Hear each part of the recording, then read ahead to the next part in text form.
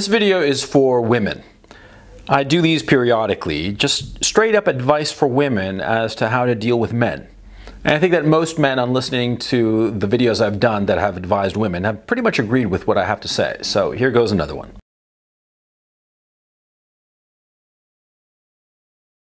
Recently, a YouTuber fucked up. I mean, he's a minor YouTuber. I mean, in the scheme of things, it's nothing, right? This minor YouTuber completely torpedoed his career. Uh, he's not going to survive this scandal that he's involved in, that just false flagging and some other shit, and it's over for him, okay? But the thing is, and the thing that has me thinking about this particular case, is that this man, see, has a newborn child. The child is uh, eight months old, I believe. And he lives in a house in Washington State. Um, uh, a house that he bought not too long ago, he's paying the mortgage on.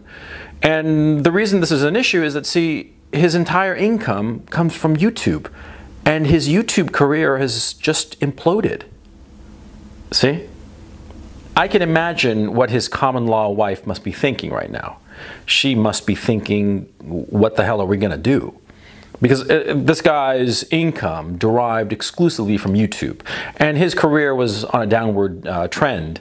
But because of the recent events, his career, his YouTube channel, it's collapsing. I mean, his, his total income stream is collapsing because of his foolishness, right? And the guy is flailing. The guy is drowning. And I thought to myself, you know, what his common law wife must be thinking. And I thought to myself, what other women must be thinking when their man begins to fail. When the man that they hitched their wagon to all of a sudden is in a ditch, okay? Uh, what do they do? First of all, you have to understand that in a long term relationship, the man you're with is going to go through peaks and troughs, and some of those troughs they're they're going to be pretty pretty down deep. You know, I mean, uh, he's going to go through some rough times. It's inevitable, and I'll explain why. Because more often than not, you see, a woman is attracted to a man when he's confident, when he's a winner, when he's successful, when he's exuding that aura of uh, self assurance you know, that confidence and self assurance is catnip for women. And so, of course, they're inevitably drawn to it. They want to be with a man who's confident and in control. They want to be with a man who's a winner. Of course. No, what? You ever heard of a woman who says, Yeah, you know, I'm really looking for a loser that I can hitch my wagon to? Of course not. Right? So, when a woman, uh, you know, finds a guy, he's going to be, you know, on an upward trajectory. He's going to be confident, he's going to be in control he's going to be attractive to the woman, and the woman is going to go to him and be with him. And there are two possibilities that the guy just continues to go up and up and up like a rocket ship, or, as much more likely, that you know he'll continue to go up and then he'll go down and then up and down like a sine wave because that's life. Life is a sine wave. There are you know peaks and troughs you know. There, there are high points and low points right? Right so it's inevitable if a woman is in a long term relationship that she is going to experience a time when her man is at a low point, when he is failing. Okay? Now, if the man you're with is failing, the first thing you have to identify is why is he failing? Okay? There are fundamentally three reasons that he might be failing. And I'm not talking about just his job or work. It could be anything. I mean, in his life in general, right? But often as not, it's work centered because so much of a man's life is his work. But there are principally three reasons why a man could be failing. And those three reasons are he's distracted, he's going through a spell of bad luck, or he has some bad qualities that were not obvious before but now are starting to emerge. Okay? Uh, let me go through them one by one. You see, a lot of times a man, uh, you know, he'll be very successful and a woman will naturally gravitate to him and they'll hook up and they'll be very happy. And that happiness, the very happiness that the man has found with a woman, will be a source of distraction. It will, will make him, you know, lose sight of what he's doing insofar as his career is concerned or, or the important aspects of his life are concerned. It's, it's very, very normal for this to happen. Uh, uh, lots of times, guys who are just happily and, and blissfully in love all of a sudden find their careers are going down the toilet. Okay? Uh, uh it's, it's not unusual at all. And uh, I myself have gone through a period like that, and you ask 10 guys, and probably seven or eight of them will, will say the same thing that they fell deeply in love, they were very, very happy with some woman, and that happiness distracted them from their job. And of course, there can be other distractions, of course. I mean, like illness or children. Children are a great distraction. They, they, are a wonderful distraction for a man, of course, because a man wants to have children. But, you know, sometimes, you know, the, the baby waking up in the middle of the night and, and the guy is just not sleeping that well. And because of it, his performance at work starts to deteriorate a bit. You know, all kinds of stuff can happen with a child, okay? Even if the man is very, very happy having the child, okay? Again, th this is something I experienced. You know, when my first child was born, I was hardly getting a wink of sleep, and you know, I was a zombie insofar as the work that I had to accomplish. Right? Right. It's it's just natural. Okay. So anyway, there can be these distractions. So if you're his woman, you have to figure out if he's distracted, and if he is distracted, you have to help him avoid that distraction, or at least minimize that distraction. Right? Help him and support him to get back on his feet, if you will, or, or not get back on his feet, just sort of like avoid that distraction or minimize that distraction so that he's back focused on his priorities, you know, in this case, his work, right? Right. So that, that's the easiest one of the three possible reasons that a man is failing. And distraction, that's an easy cure, okay? And it's important that you cure it, by the way, because uh, that you, the woman, or you, the man, because uh, distraction, if it is allowed to continue too long, it can cause permanent damage to your career or to your work or business. So never, you never take your eye off the ball for too long. Never allow yourself to be distracted for too long. Okay. Now, the second reason that a man could be failing, the second reason a man could be going down the tubes, I mean, just circling the drain is bad luck. See, a lot of times uh, you'll go through a stretch of bad luck. A man will go through a stretch of bad luck in work, of just, you know, everything that he's doing, all the projects that he's involved in, they just don't work out. I've gone through such stretches and they were not fun. And they seriously affected the relationships I was in, okay? Because the woman looked at me different because all of a sudden I had this string of bad luck and the bad luck was really bad luck. It wasn't that I was, you know, doing something stupid or just didn't know what I was doing. I knew exactly what I was doing. I was doing it properly and correctly, but just a series of a series of unfortunate events transpired, right? Just a, a sequence a sequence of bad luck started to happen. You, you go through cold streaks. It's perfectly normal, okay? In that case, you as a woman, you have to look at your man and you have to figure out, you know, what's going on here? Is the guy really just unlucky? Is this just a, a, a, bad luck streak? Because if it's just a bad luck streak, it'll turn around. Okay? No uh, streak of bad luck la lasts forever. If you keep on pushing, it'll turn around eventually. Okay? And, and see, this is very important if you're a woman. See, see how your man handles a streak of bad luck. If it's really just bad luck, and he keeps on going and going and going and, and just never uh, lays down and never just gives up, if he just keeps on going through this streak of bad luck, then you got yourself a winner. Because that kind of a man, you know, if he's if he's smashing his head against the wall of bad luck, eventually his head is going to win, no matter how hard the wall. Okay, because like I said, bad luck always turns around. Just as good luck can never last, bad luck can never last. Okay, so if it's a, a streak of bad luck, you as a woman have to look at the situation and hand to heart figure out if it's you know uh, bad qualities of the man or stupidity of the man or foolishness of the man or truly bad luck. And if you can say hand to heart uh, without any sentimentality that it is bad luck then you have to support your man okay? You have to support him with everything you have especially if he's continuing to push push and push smashing his head against the wall of bad luck eventually he'll break through and your relationship will become stronger because of it. Okay? Now, the third reason are the bad qualities of a man, and this is important. See, Men have good qualities and bad qualities, and sometimes these bad qualities are very, very useful. There are certain bad qualities that can be turned into enormous assets insofar as your work is concerned. You know, being a very cold hearted son of a bitch, for instance, is very useful in certain occupations, especially in the corporate environment.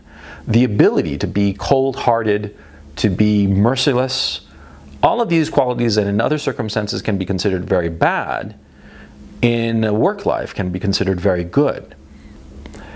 But the problem is that, see, these bad qualities, when they are turned toward productive directions, yeah, they can bring about success. But what happens if that success starts to evaporate? What if the guy is just the son of a bitch, right? And he's the son of a bitch, and because of his, his, being such a big son of a bitch, he gets really far ahead in his work, in his work life, his career, right? But what happens if he gets to a level where being a son of a bitch actually goes against him?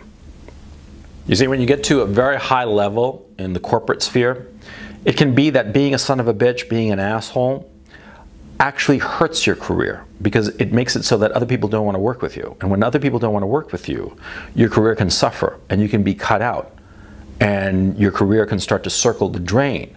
The quality, the assholishness, if you will, the, the son of a bitchness of the man that got him far, that maybe were the reasons that you are attracted to him, well, it could get to a point where that no longer helps him to advance and in fact hurts his career or other negative qualities that he might have. I mean, there are myriads of, of neg negative qualities. That's I'm not interested here in identifying those negative qualities.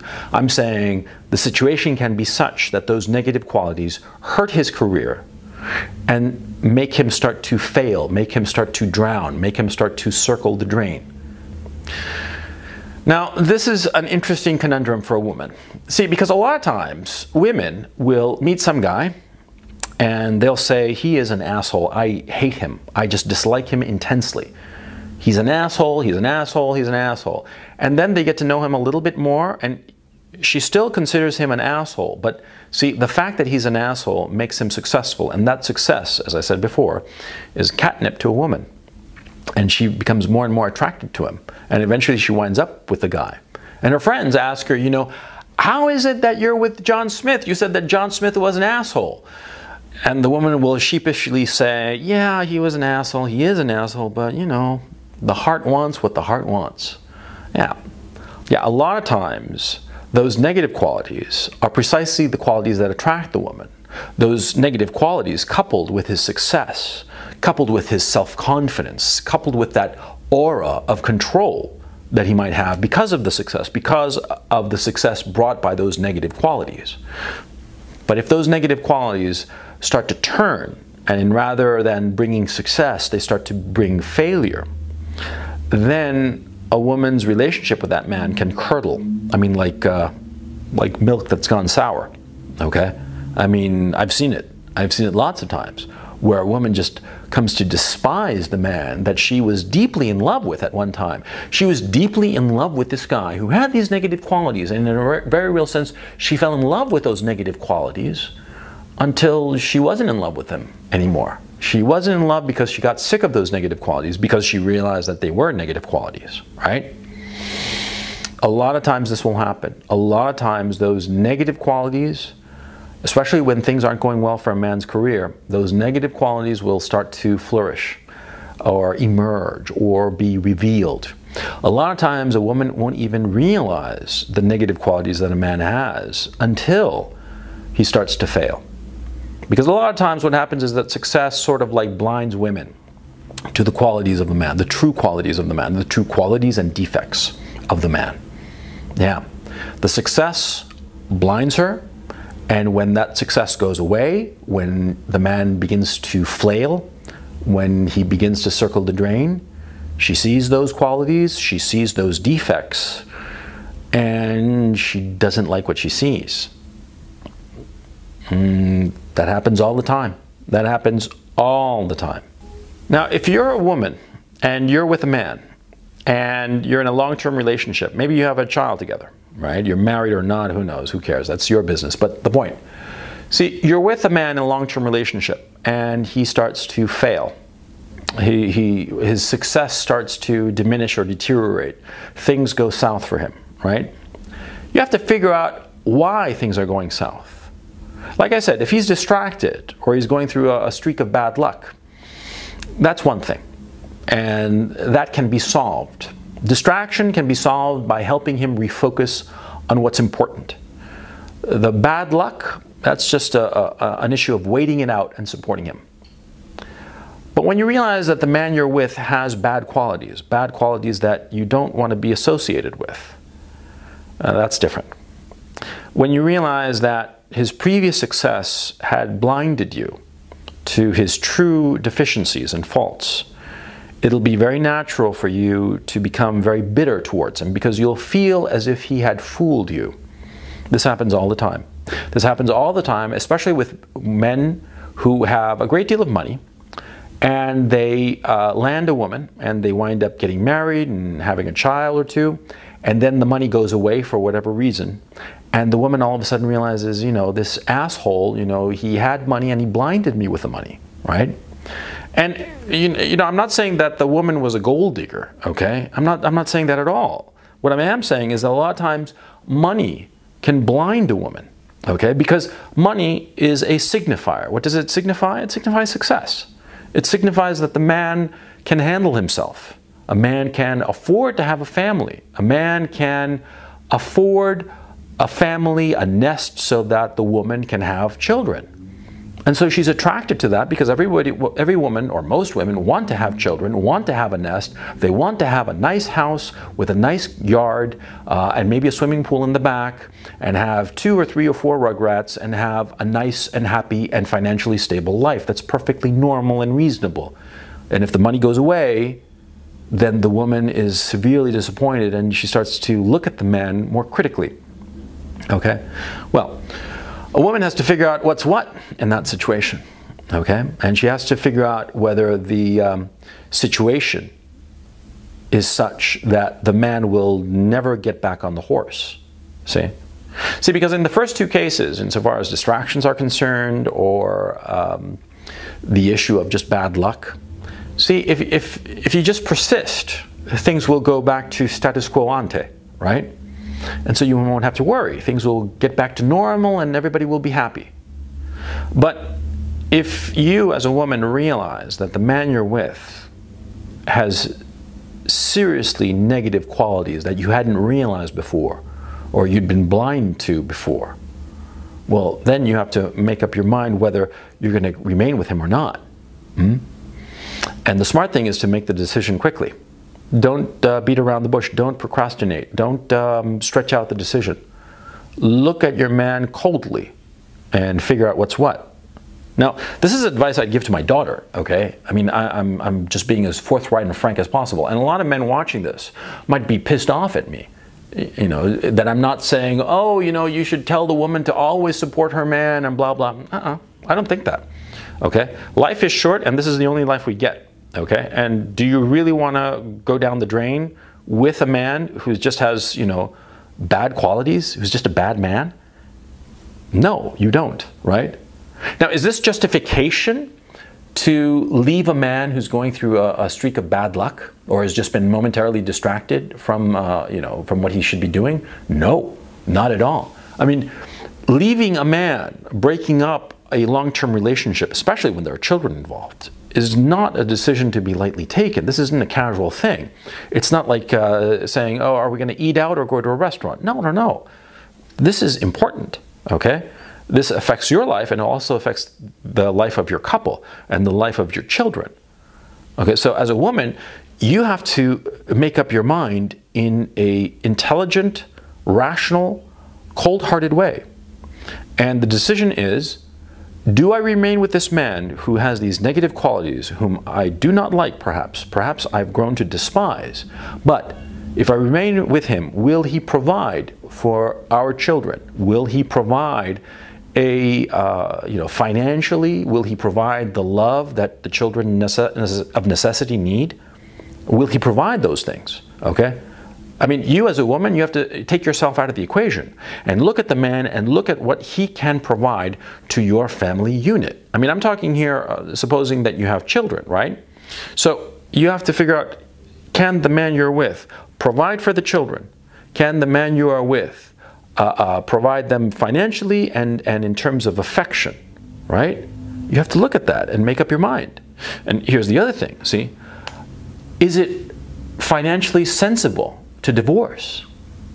Because sometimes, sometimes a financial situation is such that to get a divorce, both you, the woman, and the man you're divorcing would live very, very precarious circumstances, financially speaking. The, the divorce would make you both live more miserably in a financial sense, and the children too. And so you might hate the guy because you've discovered these negative qualities about him, but it might be a smart idea to just stick with him, you know, and just continue living with him because financially it makes more sense. Quality of life would be better if you remain together. This is a cold-hearted decision, but you can't go by, by your emotions. Just because you've, you've discovered that the man you're with is just somebody that you do not like, does not mean that, oh, you should just leave him. You know? No, sometimes you have to suck it up and live with somebody that you do not like because it's the sensible thing. You see what I'm saying? I mean, how can I put this? This is a, a difficult subject because us men, we don't ever want to think of ourselves as ever being failures, but it's inevitable. Not everybody can be a success, and no man, or very few men, manage to be successes their entire lives. Every man goes through a period of not being successful. Every man does. It's perfectly normal, okay? Because like I said, life is a sine wave. There are ups and there are downs. The issue becomes why is there a trough? If it's just a natural state of affairs, you know, some, some good years in terms of good luck in business and what have you, and then some bad years because just things didn't go well, ah, you just got to roll with it, okay? And you can't be leaving a man just because of that. That's ridiculous. But if the man has really bad qualities that are only revealed once things are going south, well, that's a different issue. That's a different issue, and you have to decide for yourself in a rational way whether it makes sense to continue with him. See? I'm thinking about this case that I started off this post with. I'm deeply troubled with it and deeply saddened by it, okay? Because I can only imagine the nightmare that must be going on in this man's life. The nightmare that's going on in that little house that he and his common law wife and his child are living in. In that house, it must be anger and recrimination and just spiteful words day and night. It must be a misery because the man, you know, failed to uphold his part of the bargain. Because every long-term relationship, especially involving a child, involves a bargain, a transaction. The man is saying that he will provide. And the woman is saying that she will take care of their child. Okay? And if either one is failing to live up to that bargain, then it can be quite the nightmare.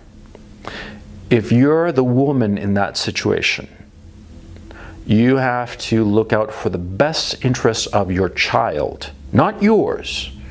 Your interests, your well being, your happiness is second, very secondary to the best interests of your child. Never forget that. And never forget, too, that a lot of times things can get better all on their own.